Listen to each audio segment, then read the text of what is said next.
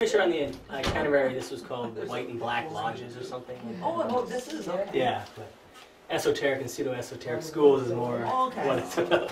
White and black lodges seems a little bit like more Yeah. mystical or something. Yeah.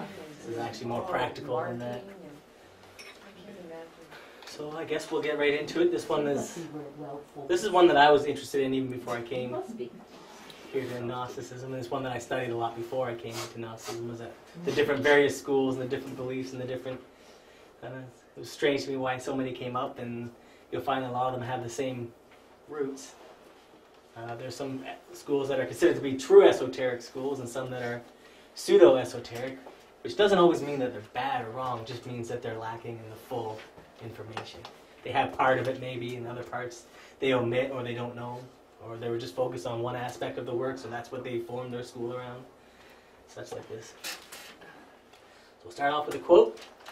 Uh, Many schools exist. All of them are necessary. All of them serve to help the human being. But it is good to warn that no theory can engender the internal bodies. We have never seen anyone born from any theory. We have not met yet the first human being who is born of theories. So all schools exist. There's many of them, and they're all necessary. They all have purpose. They all have a place.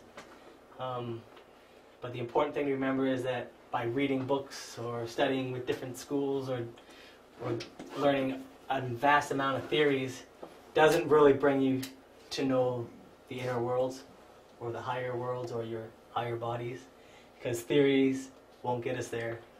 Practice is what gets us there. Direct experience gets us there although it serves a purpose to read about it, it serves a purpose to study different systems. It's just not the be all to end all. This is another quote from Samael. We are not against any religion, school, sect, order, or lodge, because we know that all religious forms are manifestations of the great cosmic, universal, infinite religion, latent in every atom of the cosmos. We teach the synthesis of all religions, schools, orders, lodges, and beliefs.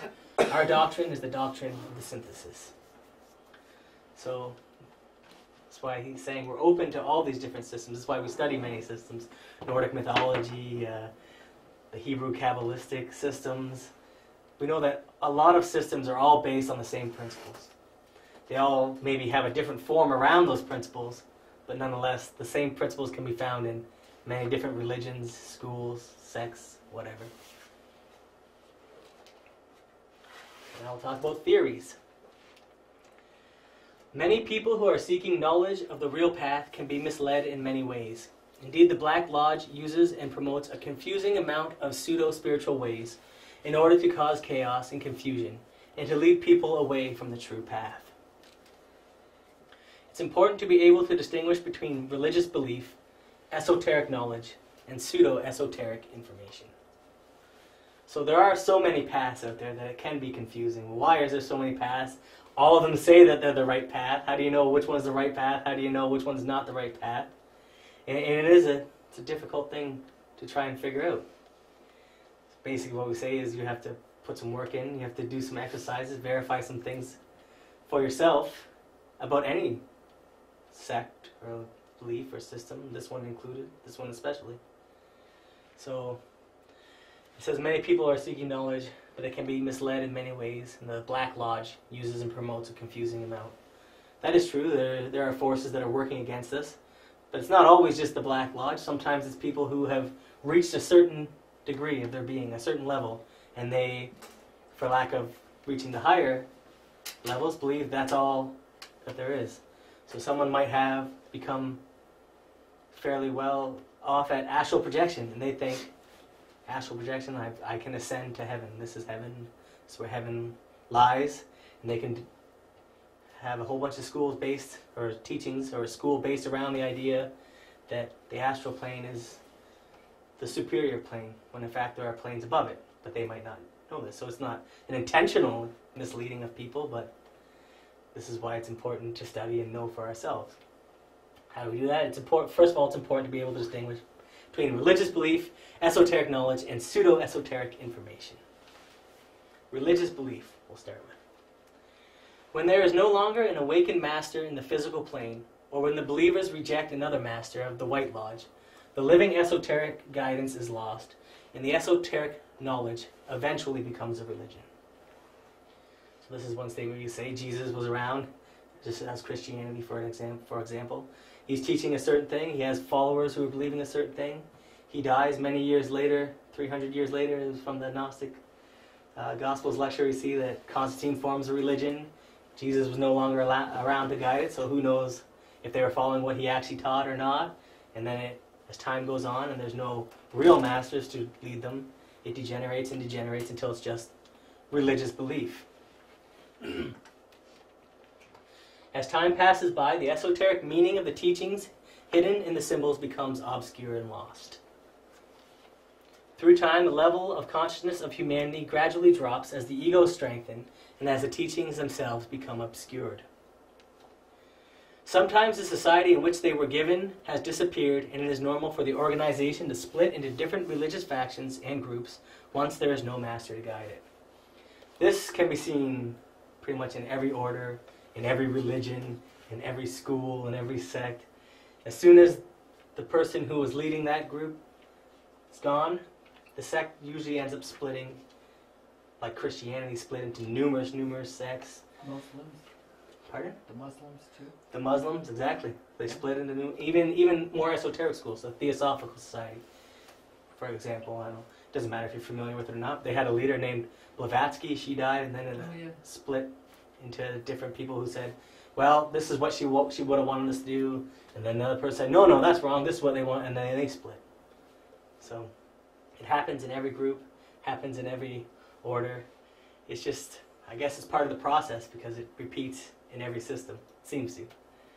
Uh, time passed by, the esoteric meaning of the teaching, which is hidden in the symbol, can become lost. This is true. Sometimes people will, will put a lot of their knowledge into a symbol, and then the, the, those students working directly with the master or, or the person who was first leading the school, they knew what was in what the symbol meant to them. They were taught by him. As it gets further and further away by him, or as the students become more and more strengthened in their ego, and they start to they start to lose what that real meaning of those symbols were. Uh, Freemasonry, I think, is, is a great example of that, where there's so many ancient symbols in the organization and no what seems to be real coherent understanding of why they're there or what they actually mean, this kind of thing. And this last point is, I like this one too, that sometimes the society in which these teachings were given has disappeared or no longer exists. This is sometimes why it's hard for, for like us in the West to totally grasp a teaching that originated in the East is very difficult for us. I mean, we can work hard and we can intellectually understand it, but it was made in a time and for people who were more geared to that teaching. So it becomes a little more difficult for us to understand it, simply because we're not from that culture. We don't have that background. We, we don't we haven't had that lineage of uh, understanding or that culture. And maybe they're at a stage of development, another culture at another stage of development, where their ability to understand things is at a different level. So they can understand easily one system of learning, where us, it's confusing. Sometimes the terminology is just confusing. But this is part of what eventually becomes religious belief. So all religions conserve, conserve the eternal values. All religions are necessary and all religions fulfill their mission in life. It's the same, we're not saying anything negative about religions. They all serve a purpose. In fact, if people weren't religious, we would be even, in some cases, you could say we'd be, we'd be worse off than we are now. Because at least these, at some level, all religions have the esoteric teachings. They're just more veiled, and people start to take them literally. But if someone had a different or higher level of being, and they were placed in a Christian organization, say, or a Muslim, they could, through their just just because of their own level they were at internally, they could understand the deeper messages without it being explained to them. But for the mass of people, this is probably something very difficult to do. Every religion is born, grows, develops, multiplies into many sects, and dies. And this is uh, something we can verify for ourselves pretty easily by any kind of comparative religion study or anything like that. But the religious principles never die. The religious forms can never die, but the eternal values are redressed with new forms. So this is also an interesting thing.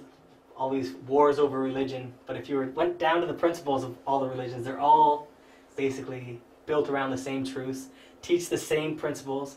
They even pretty much all have the same, we'll say solar solar hero, the same person who represents the Christ force.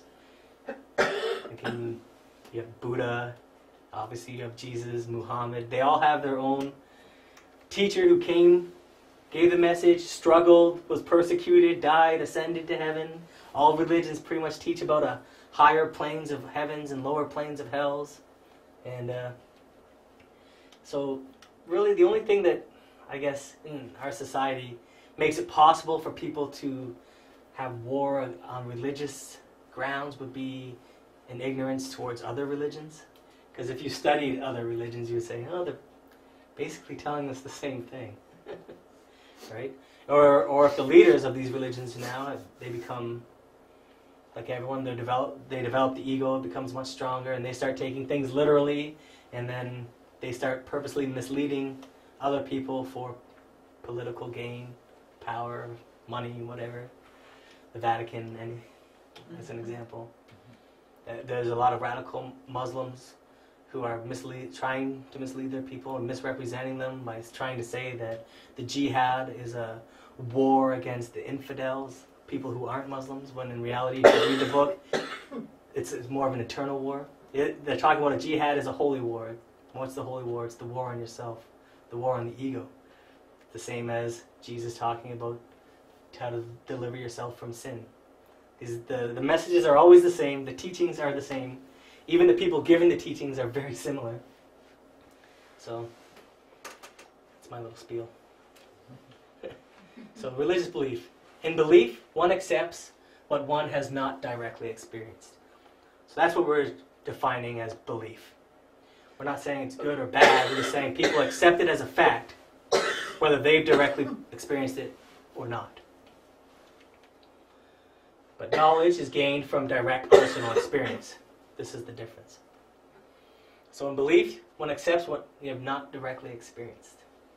So that's not always a bad thing. I mean, we're in these teachings, we haven't directly experienced everything, but we know that it's important that we try to, that we work towards doing that.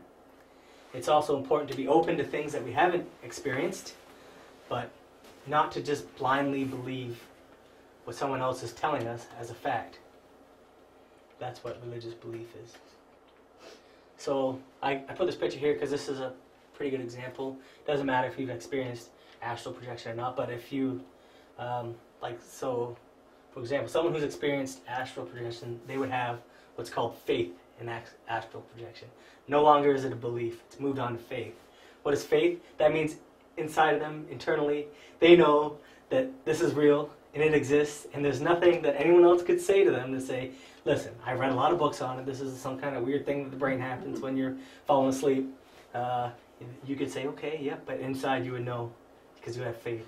The belief says, well, I believe astral projection is true. It makes sense that it is. I believe it. But until you directly experience it, this is how you develop faith. So faith and belief aren't the exact, they're not the same. Faith is higher. Faith is no matter what anyone says about you, you'll know astral projection is real because I experienced it, or whatever. You can use any example. Something that you know for a fact that other people might not believe. Because you have the knowledge. Right, you have the direct knowledge. That's right. You've had that experience, and you, can say. So, right? yeah, you know it. Someone could say, "I don't believe Russia exists," or something like this. And you're like, "No, I've been there. I know it exists." Yeah. Uh, sorry, this is an example. or uh, no puns intended. you ladies are from Russia, I take it. This is an example. Yes. I, I think something that's also important to touch on is the fact that um, even faith can be created by our egos. Um, in many cases, when people start to explore astral projection and get results, they'll be looking for something or expecting something, and in turn, because their mind has the or their egos have the ability to create in the astral plane, they actually see what they're expecting to, and then form faiths based on it. And that's where a lot of the sway, pseudo um, Yeah. esoteric schools This is from. possible. This is possible. But usually, uh, when we say faith, it's yeah, it's the knowledge of, of something that we've experienced directly, usually in the absence of the ego, but Yeah. I understand. It's something uh, I don't know if I mentioned before also that uh, talking about these beliefs and experiences and everything. Uh, one time a disciple asked the master, uh, "Master, do you believe in God?" And he said, "No, I don't, because I know it." So religion, uh, belief, and and and direct experience are two op- uh, opposite Yes, things. yes, Because the master has already experienced God, uh, he had already united with God, so it's a different. Yep. It's not a belief, what we Right. call belief. It's Yeah. just direct experience. Yeah, That's right. he knows. He knows exactly. Yeah. He he doesn't believe. He just knows. Even when you say something, and and we all know this, when you say, I believe in this, when you say the, even use the word believe, it also has the connotation that says, I believe this is true. That means, I, I, I think that's true, but I also accept the possibility that it's not. Yeah. That's why we use that word belief. So it's it that just lets you know the word belief means no direct personal experience that you you don't know. You don't know, but this is what your idea may be. So faith would be higher than that. Direct experience is higher than that. Now we'll talk about esoteric knowledge. Esoteric information explains about the path to the awakening and includes clear information about all three key components of the path to liberation. I want to do a quick spot test. What are the three key components to the liberation? Or the Birth, birth? sacrifice. Yes, uh-huh. you got it. Birth, death, and sacrifice. Imprinted on my brain. Yep, that's what we're trying to do. Yeah, They're permanent. Those are the most important. Yeah. So through these three keys, this enables a person to get on the path and to actually walk along it and to awaken. So there are some schools that maybe they understand some of these concepts. Maybe they teach death or sacrifice, but not all three of them. And there are some schools who um, they know about these three keys, but they don't quite understand exactly how to practice them. Like, so, like as an example, me and my brother once we went to the Theosophical Society here in London. They're and they're really nice bunch of people, and they really study a lot of deep esoteric things. And while we were there, we got spot quizzed because she knew we were from the Gnostic organization. And she thought so. She was testing us, but she was nice about it. But we immediately realized that we were being put to the test. And she said, "So, uh, in all these as, as a true true organizations, they teach three things. They ever teach the same Sam Master Samael teach three things? Yep. What birth, death, and sacrifice. And she was pretty surprised that we had said that because I guess in the Theosophical Society they know these are the three keys. But when we asked her about specific, specifically about certain keys, the information there was lacking. So she didn't know the answer just that you have to work with birth, death, and sacrifice. Because the Theosophical Society is, is a good movement, I guess. I mean, I'm not saying you should go out and join it or anything. Master Samael says he studied there briefly when he was a young man. Uh, but it, it's very theoretical. It's almost entirely theoretical. It's reading out of books about higher planes and about astral bodies and about elementals, but there's no real from what I could tell there, and from what I could tell of the material, there was no real laid out practices of how to develop anything within yourself. Like a lot of these es- pseudo esoteric groups, and I'm, they will say things like, "All we have to do is realize that we were already divine," which is fine to say, but there's no just realize. Okay, I'm just gonna realize it. I don't know how to just realize something. It's like saying just just see it. there has to be more clear information given more practices, advice on how this can be achieved, which are uh, a lot of the practices we give here. Uh, the information also needs to be able to reach others. This is why esoteric organizations are formed. A true esoteric organization is founded by someone who has reached mastery and has sufficiently advanced along the path. Then the esoteric work is alive and guidance can be given to the students. So that's pretty straightforward. But the reason why there are so many different sects is because the information needs to get out there. So someone thinks that they, they reach top, they, they feel like they have to share the information. Why does the information have to get out there? Why are like why is the Gnostic? Is because to to you must give to receive. Everything's a gift, but you have to pay for it. So, seems contradictory, but the more you give, the more you receive in turn. Like think of the whole teaching as a ladder. You're on a specific rung. There are people above you. There are people below you. If you want to get to the next rung above, you have to help the person below you onto the rung that you're standing on. This is one of the cosmic laws. This is this is how spirituality works. They don't give anything for free. Pseudo esoteric knowledge. There is an abundance of spiritual and esoteric information that is inaccurate or which lacks sufficient information to explain the path. Uh, this type of information is pseudo esoteric, since true esotericism contains all the necessary information for final liberation.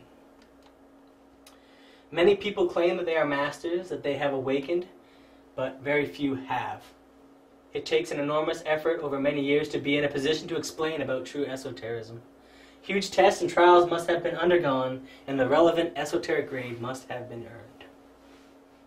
So, to form a, an esoteric school, it's, it's pretty serious. And if the person who forms that school isn't internally at a certain level, then it would become like a pseudo esoteric school because all the knowledge isn't there. And it, it's it's interesting that even in our everyday society, pseudo esoteric information comes forward. It comes forward in many different forms, and you don't even realize that it's some kind of spiritual teaching or was, this, this is part of our society. There is one kind of uh, craze that happened recently, and it was it was a book that became quite popular, and it was called The Secret, and it's it's a no, it's a good book, and it teaches certain principles that are occult or esoteric. It teaches certain laws, but it omits other laws. It teaches the laws of attraction. This is a law. You can attract things through your thoughts and your actions. This this is possible, but they omit talking about the ego. That is that if you feed your desires, that's maybe not the best thing for spiritual development, because in the in that uh, the the secret, they they could have gone the other way. They could have say you can better your life by gaining insight into who you are or why you're here, but they they went the way of saying you can better your life by acquiring more cars or money or, or whatever. This is an it's it's an occult or esoteric principle, uh, the law of attraction.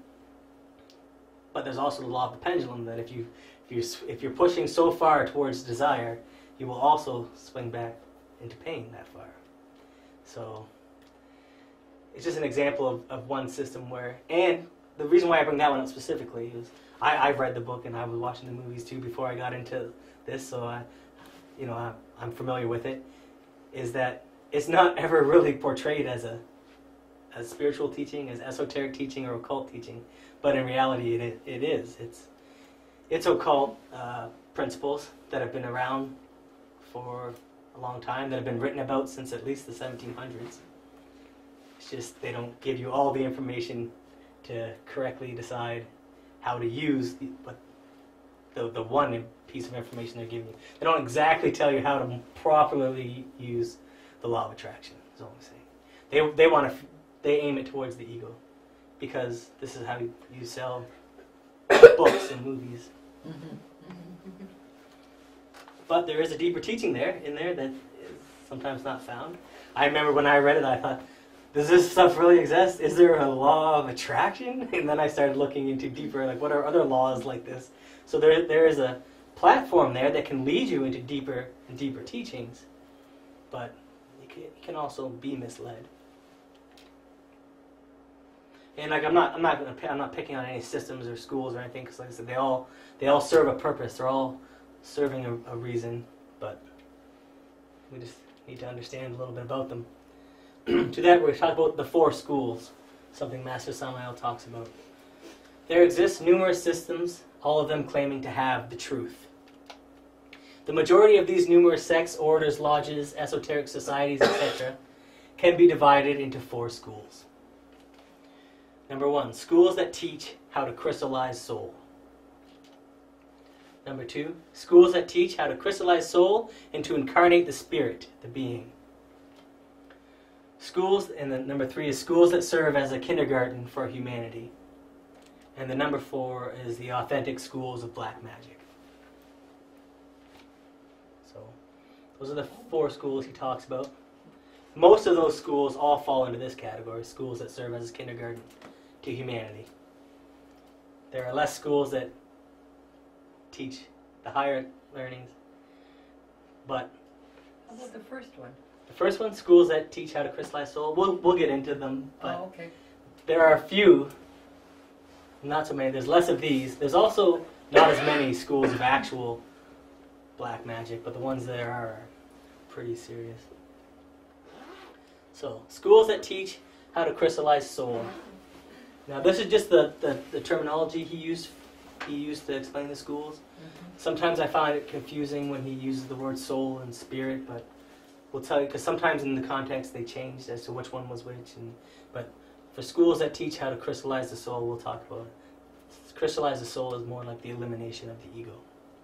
In this way that he's talking, Illumination of the ego. the ego. Oh, So schools that teach how to crystallize soul.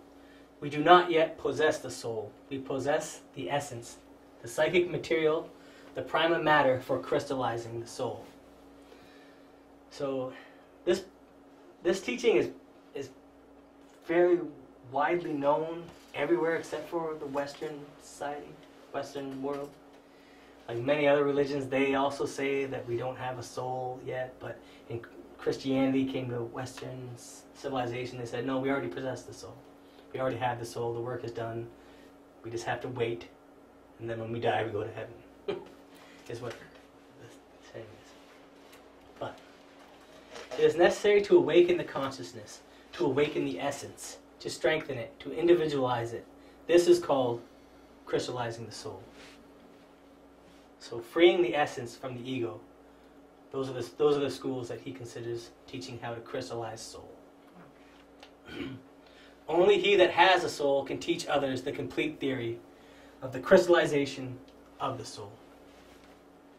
So, like for as an example, Buddhism would be un, under one of these schools where they they work to free the mind of desire and this kind of thing. So the could be considered schools that teach how to crystallize soul. Um, so we do not yet possess the soul. We possess the essence, the essence, the divine spark. This is the psychic material that the soul is later built from. So we, we possess a fraction, a piece of soul, from which the whole soul can be built. How do we start to do that? First, we have to awaken the essence by eliminating the ego. And there were there were schools that were formed directly around this idea of destroying the idea of yourself. And uh, one school that was one of the more famous ones was taught by Gurdjieff, where it was pretty much all about figuring out who you are and how you operate and this kind of thing.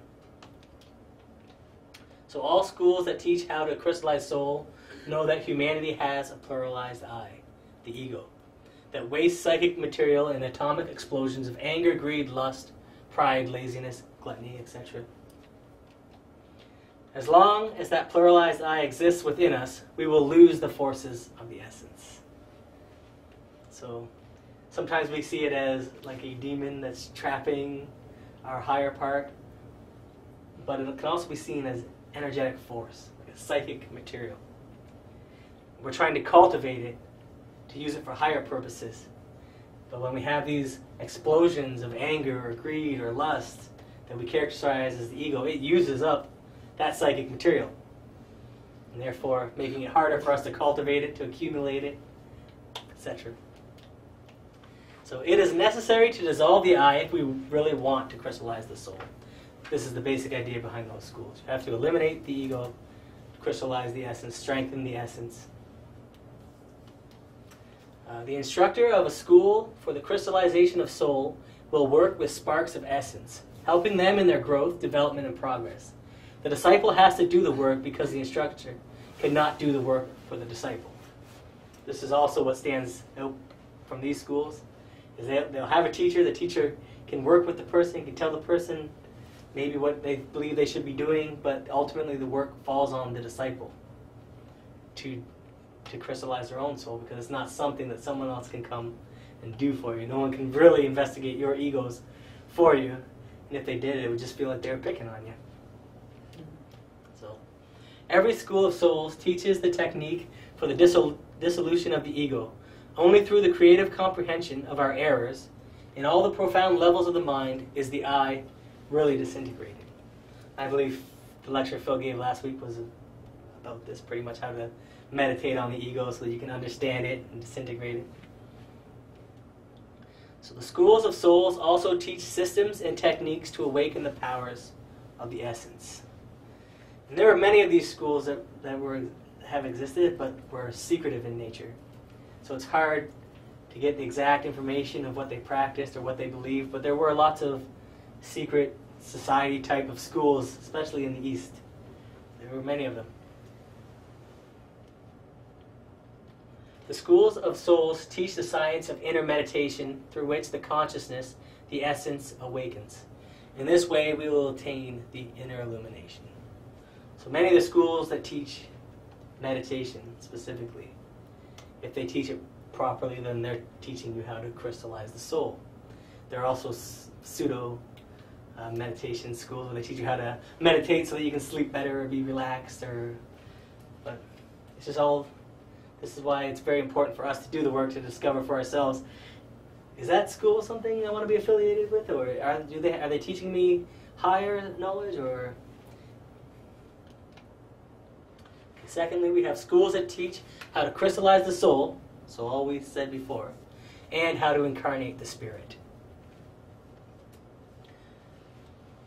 All schools that teach how to crystallize the soul and incarnate the spirit are schools of regeneration. The schools that teach to crystallize soul only do good work, but those that teach to fabricate the soul and incarnate the spirit do the superior work. Every school of regeneration teaches the Masuna, Mathuna, or sexual magic. So this would be the main difference.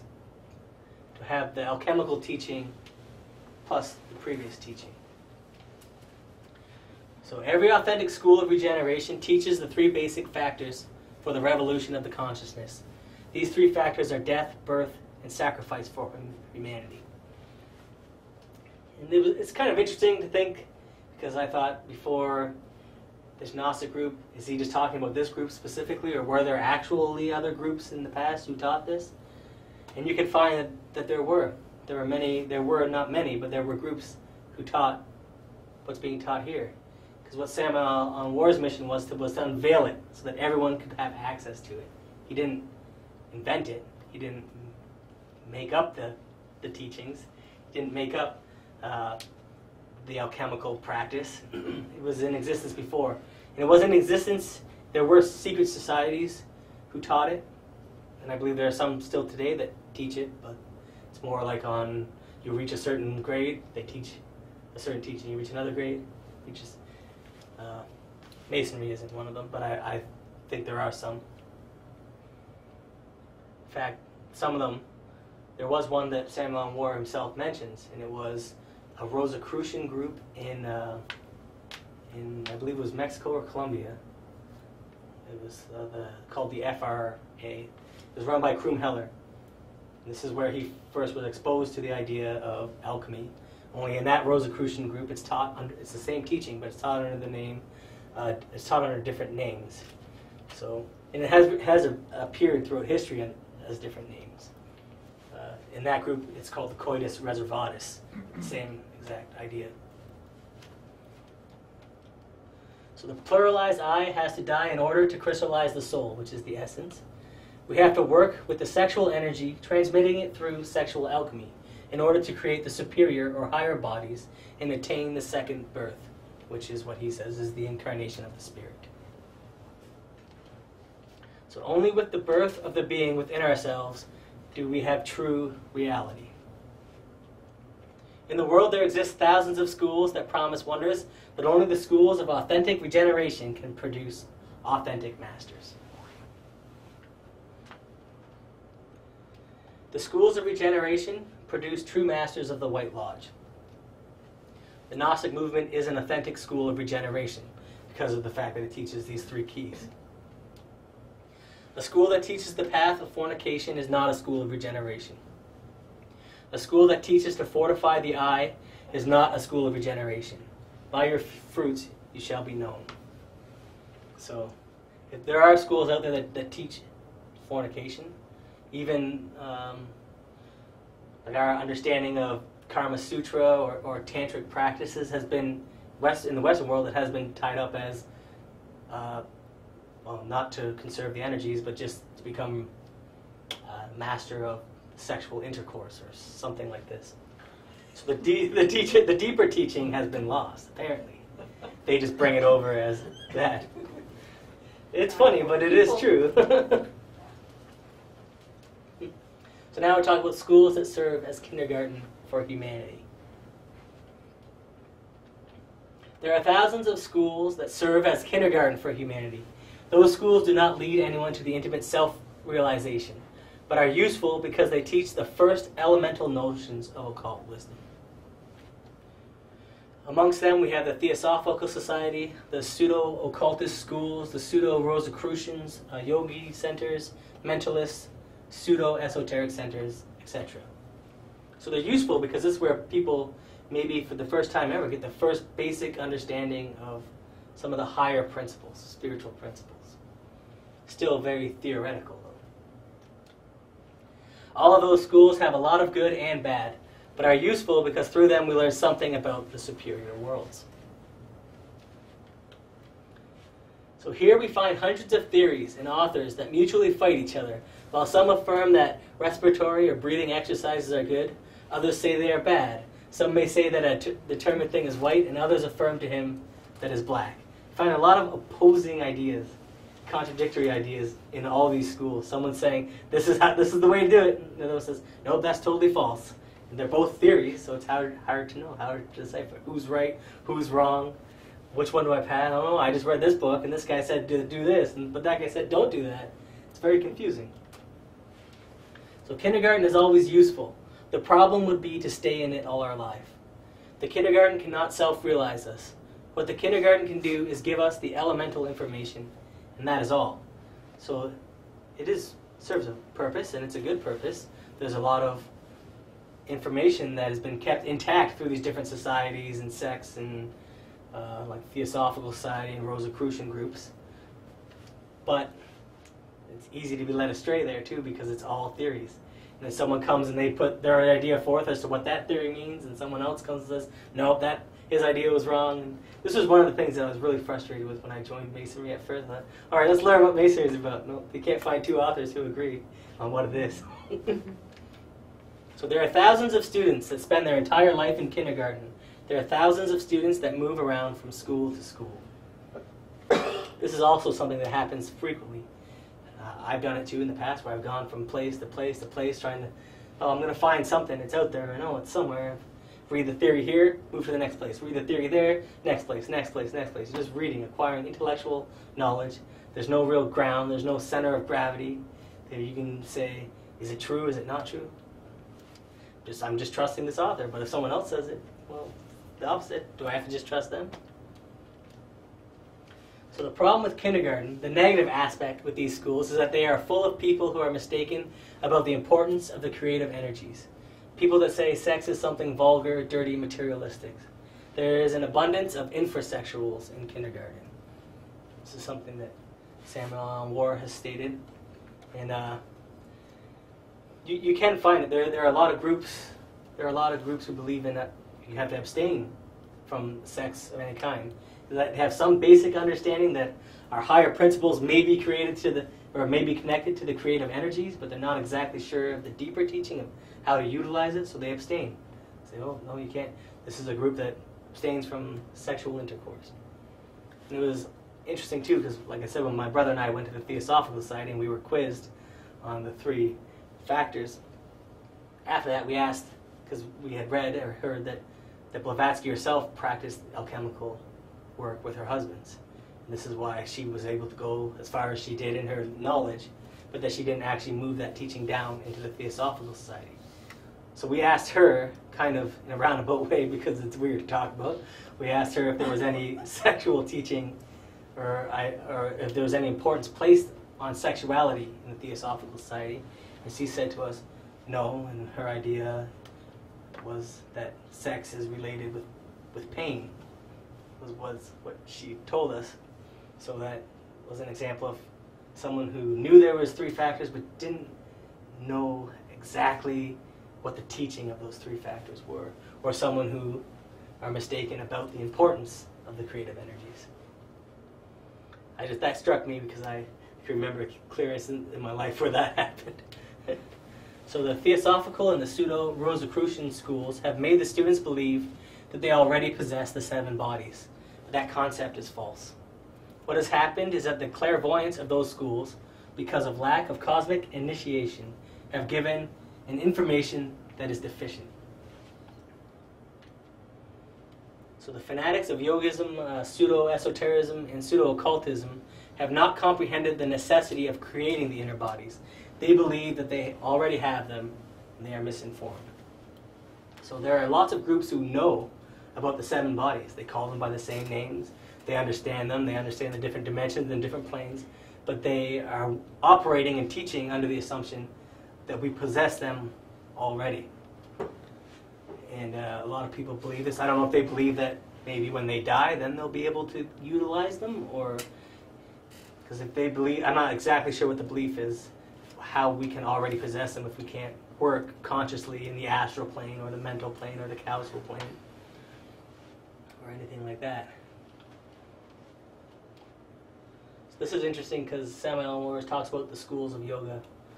Uh, it seems that in the schools of yoga, they can either be the classified under the kindergarten of humanity or the superior schools of humanity based on what they teach. So in the schools of yoga, there is much that is useful and much that is useless. Those that have traveled through India, Tibet, China, Japan know very well that the most serious aspects of yoga is in Tantrism. In reality, without the Tantrism, it is impossible to reach the level of an adept. So the exoteric or public circle of every school of yoga is kindergarten. It leads people to uh, a basic understanding of higher principles, but it, it can't help them to regenerate themselves or to incarnate the being or build the higher bodies. But the esoteric or secret circle of every school of yoga is a school of regeneration. In the Western world, the yoga has not been comprehended correctly, and there have appeared many people who reject the deeper teaching. In reality, yoga without sex, without mathuna, is like a garden without water. The yoga without sex is kindergarten, not a school of regeneration. But to me, the, that statement is also it's interesting because that lets you know that if you add the alchemical teaching to the yoga teaching, then becomes a school of regeneration. So it's very useful. Now we're going to talk about the big scary one, the schools of black magic. Schools of black magic. The most difficult is to recognize the black schools. Normally, they are full of sincerely mistaken people with good intentions.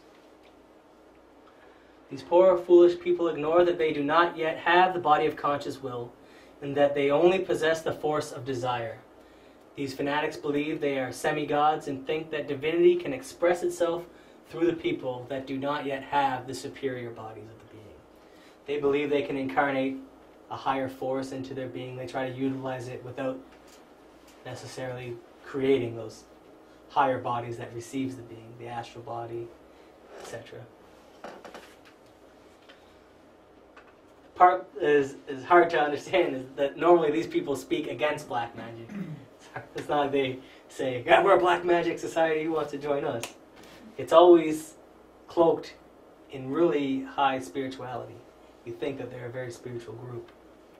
Uh, the fanatics of those schools want to make the subconscious become conscious without troubling themselves to eliminate the ego or working in alchemy. So this is where some of those schools differ. But as we'll, we're going to see, uh, to be a, an authentic black magic school, there are keys that many of the schools who think they're black magic they don't possess. So, which is a good thing. because there's people who want to be Satanists or whatever, but they don't possess the actual keys. Just like as we saw, to be an authentic school of regeneration, the school has to possess certain keys, a certain knowledge. So true schools of black magic possess a key to unlock powers for the use of the ego. So there's three kinds of tantrism that exist. There's white, black, and gray. Schools of white magic are based on white tantrism. Black magic is based on black tantrism. And the schools of gray tantrism are incoherent, vague, imprecise, but they lead the aspirant towards black tantrism. So this is the key. There's white tantrism, there's black tantrism. So even the keys in black in the black uh, lodge is still sexual. So a white adept works with the positive crystallization of the sexual energy. However, there also exists the negative crystallization. The adepts of the Black Lodge utilize black tantric rituals. These rituals fortify the ego, and they give the ego certain powers. They might not totally understand that they're giving those powers to the ego, but then they could, say, develop clairvoyance, they could develop the ability to astral project, they could develop what seems like higher uh, principles, but they've developed them for the use of the ego, and they've developed them in the inferior way. The schools of regeneration forbid the spilling of the is this uh, creative energy. The black school, the schools of black magic do not forbid the spilling of the creative energy, and even justify it with religious phrases and sentences. In the Western world, the schools of black tantrism hide themselves within the Christ and the Gospels. They speak ineffable things, bless and spill mystically the energy, and use black practices to strengthen the Kundabuffer, to strengthen their connection with the infernal dimen- dimensions. Then the sexual energy crystallizes in the ego, strengthening and developing it with all its tenuous, submerged, diabolical powers. This it seems strange. It's like I've never heard of any groups that do this, but they exist. They're out there and they're they're operating today. I, I know of, of, of some, but it's not anything that you would like to study too much. It's very strange.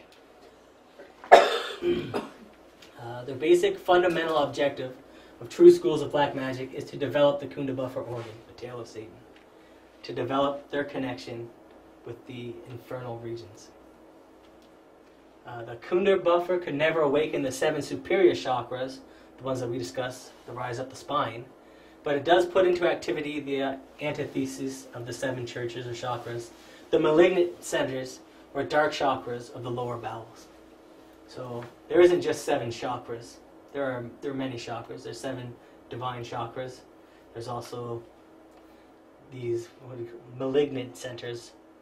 This is sometimes why when people they eat a huge meal, they go to bed, they have nightmares, because these these chakras are in the intestinal region. It's where they reside. So can be putting those into activity, which is sending you down into the infernal dimensions, and therefore you're having a dream or an experience down there. It's terrifying for you. So that's the difference between and black magic. Without going into too much detail, what, what it is that they believe or practice specifically. Now we'll talk about mediums. The mediums were really big in the late 18th century and early 19th century. They were very popular. They're, they're uh, especially in England. There were many schools that came from the schools of mediums. There was also, because it became so popular, there were many, many people who were like sleight of hand tricksters to get money. There may have been some authentic cases of mediums, there were. So, mediums are passive and receptive subjects who grant their matter, their body, to metaphysical phantoms from beyond the grave. So, they're passive, very passive personalities to be able to attract these beings or this energy and let it work through themselves. Spiritualism allows us to communicate with that which is beyond death. This is done through certain passive subjects, which are called mediums. However, only the shadows of the deceased come into the spiritualist center. These shadows are composed of the psychological I, or the ego of the deceased. This is important to remember that a lot of mediums believe that channeling divine beings, some even say they're channeling Jesus. many cases, it's, it's just ego. It's just ego that is being channeled. Because a true master never uses the body of someone else, would never violate the temple of another person to get their message across. So, by manifesting themselves through the mental, astral, and physical bodies of the mediums, the shadows of the deceased produce the dislocation of the mental and astral vehicles of the medium. Uh, and the consequence can be things like insanity. There are certain groups or secret societies who practice this, and it, many of them develop schizophrenia, things of that nature, for allowing other beings or other entities to use their vehicle. It dislocates their actual astral and mental bodies. Which, when you see someone walking around with a dislocated astral and mental body, it seems to us to be some kind of mental condition or some kind of insanity. So the mediums of spiritualism are unable to investigate the superior worlds because they have their mental body dislocated. The mediums of spiritualism are mentally unbalanced, therefore, any investigation they attempt to do in the superior worlds results in failure.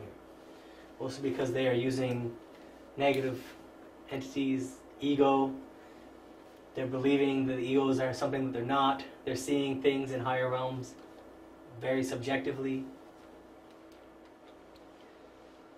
And now, to get into that further, we're going to talk about positive and negative clairvoyance.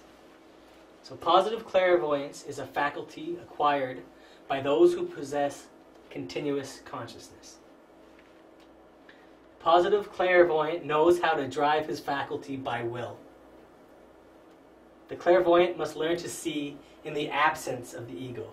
The, the clairvoyant must see without judging, or must see objectively instead of subjectively.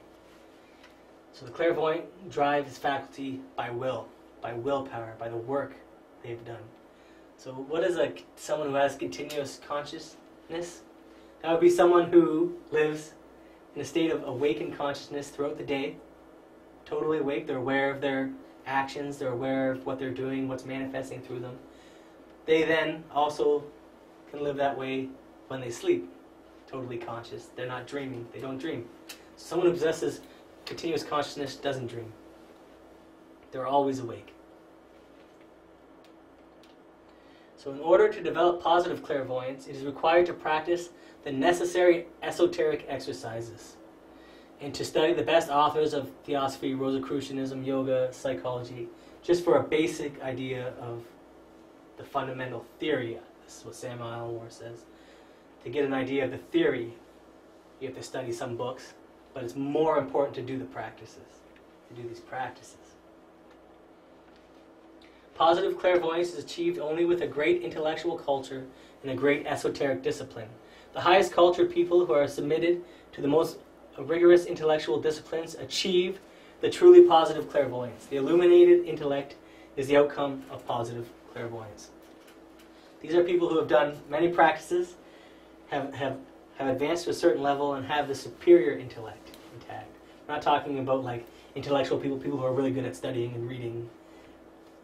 Because there are many people who go to the astral realm and they'll see something and they'll believe that that they'll subjectively believe in it.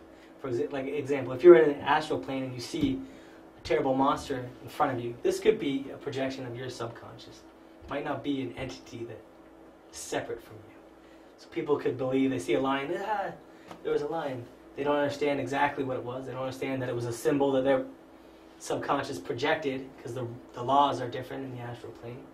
This is why it's good to sometimes have basic understanding that the astral plane, if we're not totally awake, can be extremely subjective. We can create in the astral plane. Our thoughts come to before our eyes. This is what dreaming is.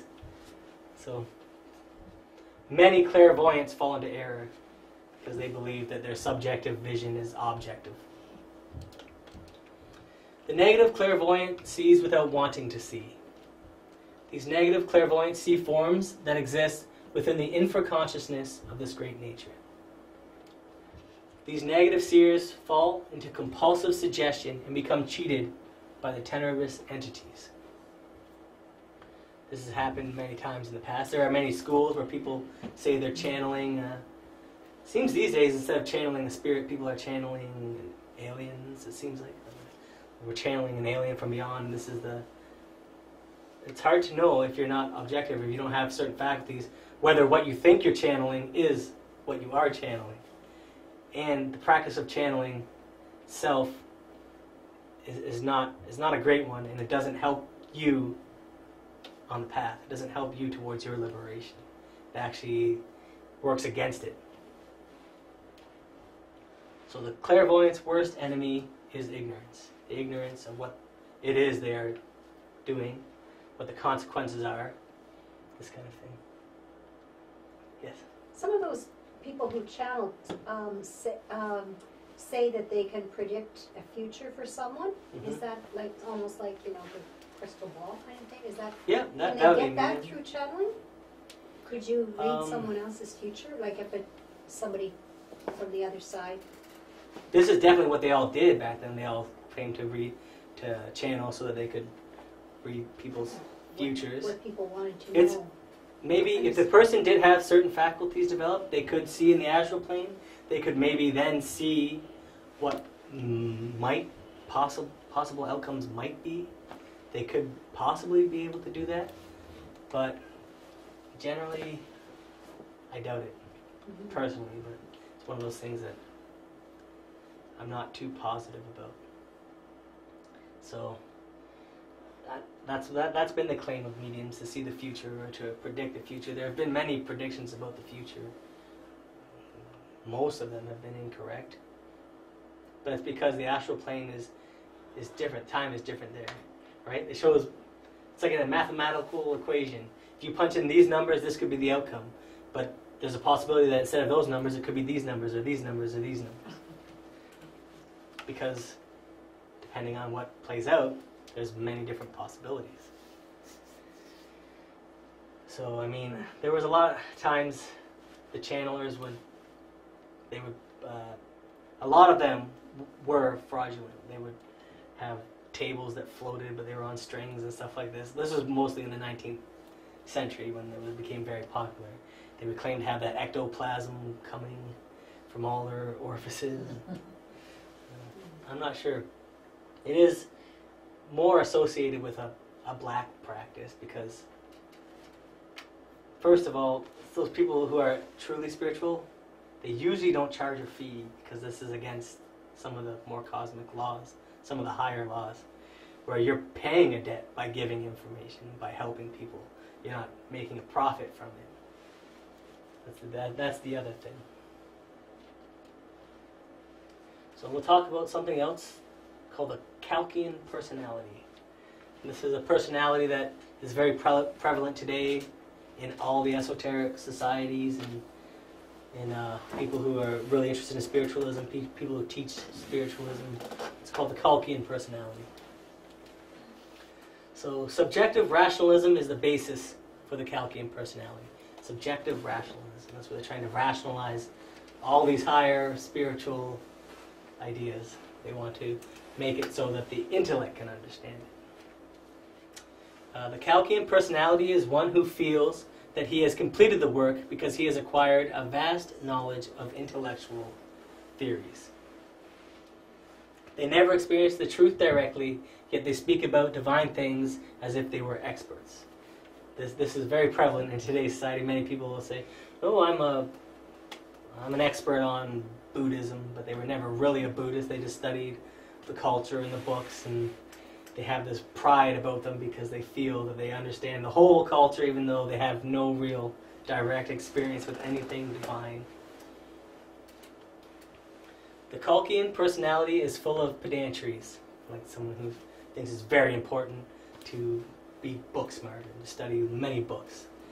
It is bottled up in the dogma of evolution, misinformed about the internal constitution of the human being, which produces feeling of self-sufficiency. misinformed about the dogma of evolution. There is a great dogma in our society that people think they understand evolution. and that through evolution, they believe that we will eventually reach perfection. That time will eventually bring us to perfection. That we may be born again and die, and then we'll be, if we just wait long enough, if we just live and die and be born again long enough, we will reach perfection. This is a misconception. Because that living and dying and being born again, living and dying and being born again, that's part of nature. That's a process of nature. That's how we serve nature.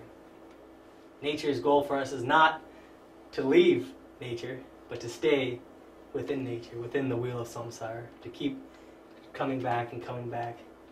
Because our vibrations are, are utilized by the earth, by nature. So we serve two purposes. We, we receive cosmic vibrations, we, we change them internally, and we transmit them to the earth. The earth is a living entity.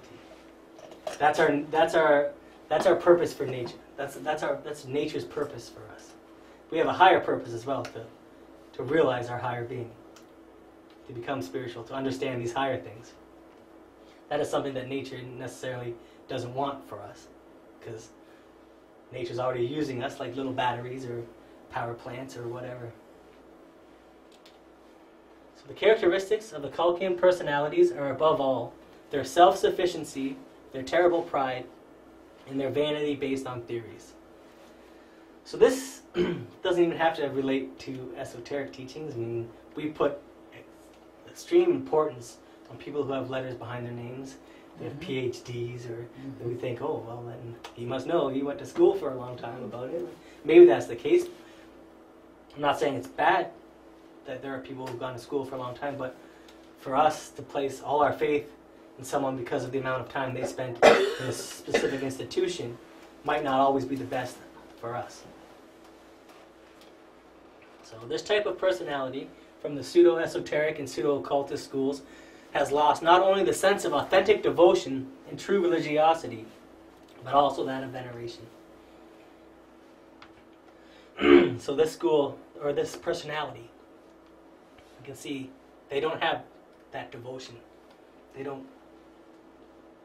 They don't uh, have veneration for the higher beings, for the higher realms. They think they understand everything. They think that they're already.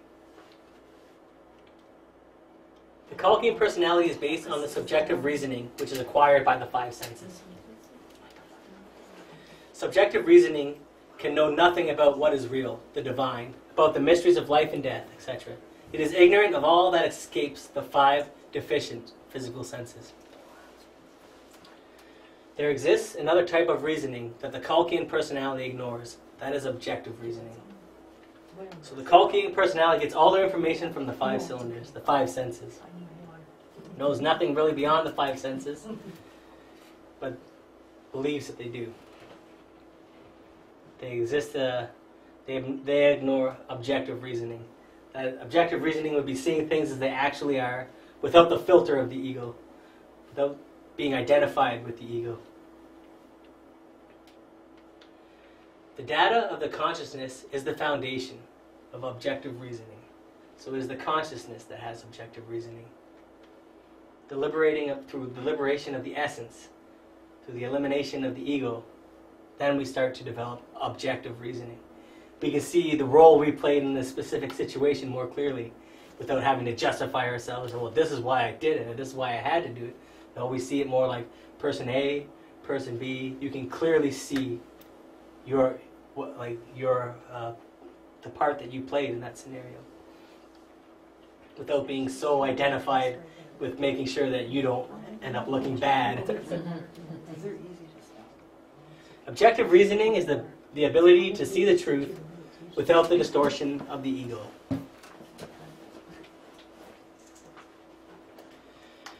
the powers of the heart do exist.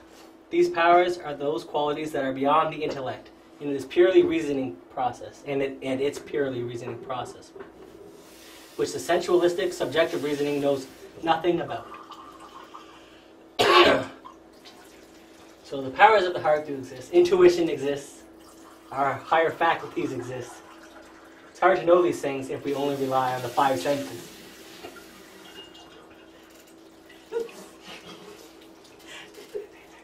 it's tricky. little more noise? it's okay.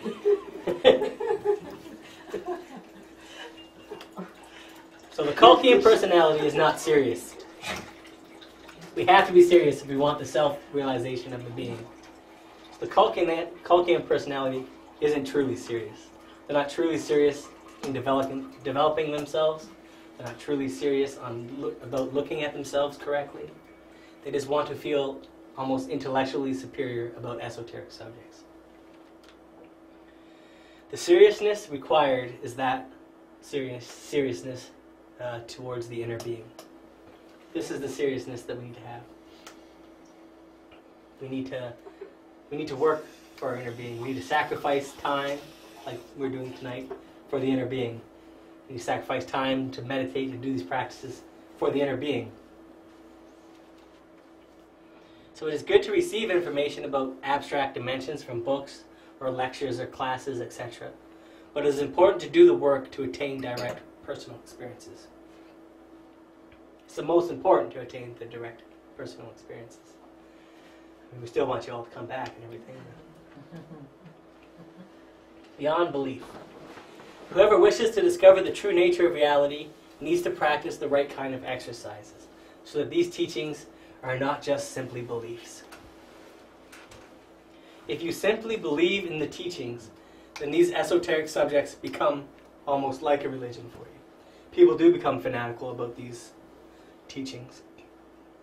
But unless you work on the practices to know them, to verify them, it becomes just like religious belief. But if you disbelieve, you close the possibility of investigation. That's kind of important. We're, we're not telling you, don't believe us until you prove it for yourself. Saying we're giving you information. This information can be verified for you. If you do the practices, you will verify certain things. If you haven't verified certain things, remain open minded about them, but work towards verifying them. Belief and faith are different things. Faith is confidence that is derived from direct experience and inner wisdom. It is important to root out beliefs and to question theories by using the practices to verify them with personal direct experiences. It is important, therefore, to practice the exercises and to experience these things and what you have not experienced to keep an open mind about, as I said. So, having beliefs is important, but we also have to say, what are my beliefs? Can I verify them so that we can have faith in them instead of just simply being a belief?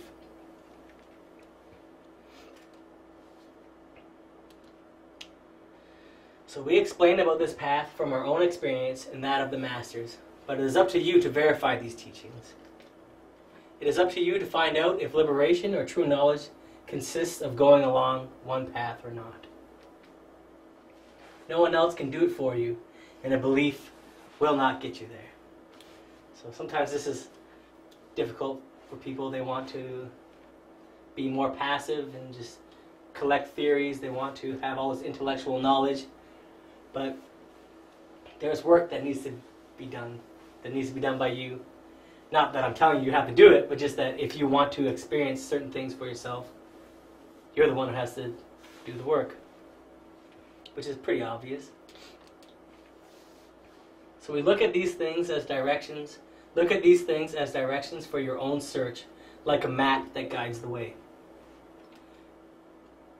You don't know if the places in the map exist or not until you go there, but the map is useful nevertheless. Those who have gone far enough esoterically leave behind their maps, and what you experience if you go far enough may one day be a map for others to follow. So this is kind of like the pep talk, like we can do this. This is what we're here to do. We're, the lectures are fun, but the practices are what's important. And sometimes you just do the practices. You don't. You're not. You feel silly doing them, but you stay open-minded about it. And if you persist, you will. You will verify things for yourself, and then you will start to take those steps. When you verify one thing, then it's it's like almost like a boost. Like helps you. Like yes, okay, well, I this is true. Now I can it gives you extra energy to go and verify other things.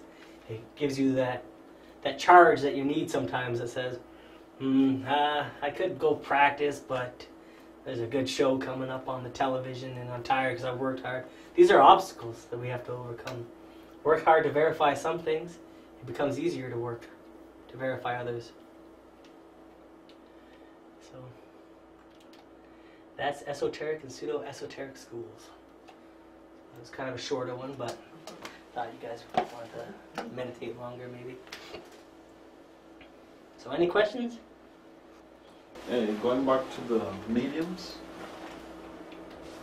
I remember having read in a book that uh, one time the master, when he developed clairvoyance, he went to one of those seances, seances, Mhm. sea- seances, Mhm. and then he could see that there was like a shadow coming to the medium. So uh, they, they, they would say, oh, we're going to invoke Jesus Christ. And then the medium said, oh, I am Jesus Christ, I am talking to you, do this, do that, uh, love each other. And then the master said that there was like a, sha- uh, a shadow, there was like a black magician behind the medium that was taking place, I was like uh, talking uh, for the medium. So Yeah. it's uh, it's uh, From another plane? Back from another movie? plane, another Another plane, yes. So just a dark. Oh. A dark, Dark entity, entity. A dark entity was Mhm. taking. But she the- thought that it really was. She Exactly. thought that it was uh, Yeah. Mhm. Jesus Christ. Yeah. Then everybody thought, but then the master said, "No, I won't. I will never ever go Yeah. back to those seances Yes. because they Mhm. they mislead people." Mhm. Even the the- medium is misled. The And medium, even the may medium truly That's believe right, that yeah. they're Yeah, and the karma of the medium is the epilepsy. So the, the epilepsy is the Mhm. karma of the mediums. Epilepsy. Oh, epilepsy. The, Epilepsy Really? The, yeah, the Yeah. disease To have. is the karma. can be a karma for past life mediums. Mhm. Well, I know I went to that spiritual thing and there was a woman there and she was able to channel, like she just, her, her voice, everything totally changed. She said this other Yeah, person was change the speaking, voice, right? everything. Yeah, yeah. Yeah, because another entity can come into the Yeah. person. That's what We're she just was saying, claiming, wow. yeah. Well, it probably did, but just Yeah. the nature of that entity is what's in question. Yeah, Yeah. like three different entities, like from Yeah. different, Really? one said that, that uh, he had never been like in a physical body or something for Mhm. years or talk to people, I don't know, just different weird stuff. Yeah. Well, there was that famous, uh, she's popular now, her name was Ramatha, Ramatha or Ramatha. She claimed to channel an alien from a different civilization, and she has a school in America. Many people come to her. She tells them things, but she, one of the things she tells people is, "We're already divine. You're already gods," which is kind of like it sounds very nice, but it's it's not exactly. People like want to hear that. They want to Oh, hear yeah. that we're already fully Feeding developed. their egos, aren't Yeah. you? Well, that's just like. But it also everybody misleads you- people from the past. Yeah, you, ch- all those people like for self-image and say, oh, you're all lovable. Yeah. Yeah. Yeah. And even the, in the, I mean, I know there's like a lot of conspiracies out there, but there are there are major politicians and corporations that gather at specific events, and they might not know what they're part of, but what takes place before them is what they think is some kind of play, but it's really a black ritual. And uh, all the, a lot of politicians and major media people go there from the states. It's a, it was called uh, Bohemian Grove. Presidents go there. They watch a ritual. They think it's a play. There's a big owl which represents like Moloch, like a, a demon. They they have people dressed in cloaks. They they uh, carry torches and they carry a an effigy of a of a small child and they burn it in front of this big owl. And then Oh the people God. are clapping and laughing. They think they're part of some ridiculous fraternity kind of play, but it's really a, a black ritual dedicated to dark forces. So th- this is this is how black lodges also operate. It doesn't matter if you know or if you if you if you're not 100% a consenting, willing participant. You can participate. They can gather your energy by if you're there, Yes. you're watching this, you're was just So that's what they that. do it for, to get, The they people's get energy. people's energy? Yeah, or they can do it so Is that, it- I mean, the, the reason why they they do it would be that whoever put it together knows some occult principles, and they know that if they do this with a large group of people in front, they will personally receive favors from these negative entities and Would it do energies. anything to the audience? Would they be? Well, they themselves, they're, they're watching it, they're participating, they're yes. it, it, so they it's um negative energy. yeah Mhm. it, it, it's it's abstract it's uh, taking from them certain certain emotions because they're they're seeing these things and they're feeling certain things and their their vibrations are changing. Well, if they're liking it and it's mean, it's bad, Yeah, that's what happens. Yes. So how can you dis- how can we distinguish which dedicates to black entities? Like sometimes people go and they think that's good thing, but it turns to be a Yeah. bad thing. Yep. So how can we distinguish this, right? Yeah. Can we? And this is why I said it's the mo- the black schools are the most difficult to distinguish because they they never come out straight out and say No, of course. I'm a black school. Yeah. I mean, So how can we understand that it's Yeah, not good? that we thing? don't fall trap Yeah. to these. Yeah. Right. That's interesting. well, yeah, it's like you never know, right? That is true, but I mean, the schools that teach you about the, the three uh, factors about the death of the ego, the spiritual birth that you have to create the bodies, and the alchemical work. Those schools, uh, the the black schools will teach the op- kind of the opposite of that. They will they might teach like go forward and multiply, like telling you to spill the creative energy or something like that. Um, but it is it is it's difficult. This because is why that we gets you down. That Yep. takes you down. it's difficult. Like we have to basically do the internal work on ourselves to reach a certain level so that we can see these things for ourselves. But generally, I mean, I, I, I've seen a bunch of these black uh, black lodges or schools or whatever, and, and there is kind of a weird vibe. Sometimes you just have to trust your Mhm. intuition. Yeah. Because I'm, I'm thinking there's these people from the media were sitting here watching this fake child being burned. They must have a certain feeling like, what, this doesn't Yeah. feel exactly right. Yeah. You know what I mean? Yeah. Well, what kind of a enjoying it, play they're is this? Very good. Where they're? Yeah. showing, yeah, Yeah, yeah. yeah. Sometimes it's hidden so That's right. well. It is. It's hidden very Well, well. sometimes you go to those things and they have those sacred dances and everybody's supposed to participate. Well, maybe it is black magic instead of, mm. or Right. is it harmless? Is it just because apparently it's Right. Well, like, I guess, like in the like, like true black magic, they they utilize certain certain keys that they would teach that have to do with tantric practices, black tantric practices. So the ones who put on, say this, Bohemian Grove as an example that we've been using.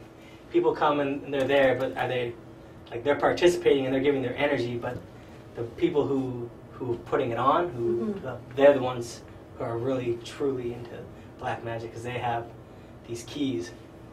The keys for white magic and black magic all relate to the, the sexual energy. So Yeah, I actually read in uh, one of Samael Weor's book, uh, he mentions how um, a lot of the Hollywood system is submerged in that the the theaters are now the local black lodges yeah, the in death of the every black city lodge, yeah. or something like that. I Right. think it's an interesting concept because it's it's a lot like uh, what you were describing. You're you're watching a movie, you're identifying with Mhm. the scenario of the, the Mhm. individual, and you're you're confusing your emotions with their emotions, Yeah. and and uh, it leaves very room a lot of room to like lose. Because objectively, if someone were to objectively watch what was happening, it would be your body sitting there doing nothing and staring at a box. But when we're doing when we're doing that, we feel totally immersed. We have certain egos that are just running rampant because we think we're that character, we're in that situation, we're excited and scared for them, and it's producing in us false emotion, basically, false feeling. It's fortifying, can fortify ego.